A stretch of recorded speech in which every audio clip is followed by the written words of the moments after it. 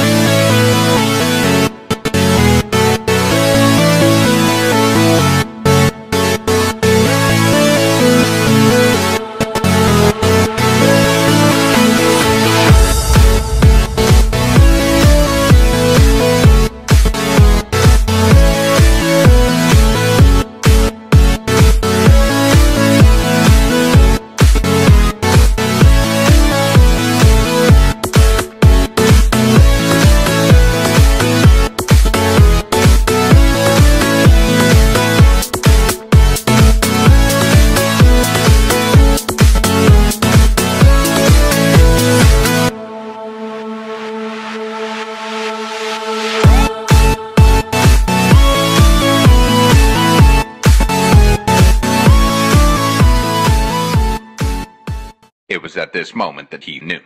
He fucked up.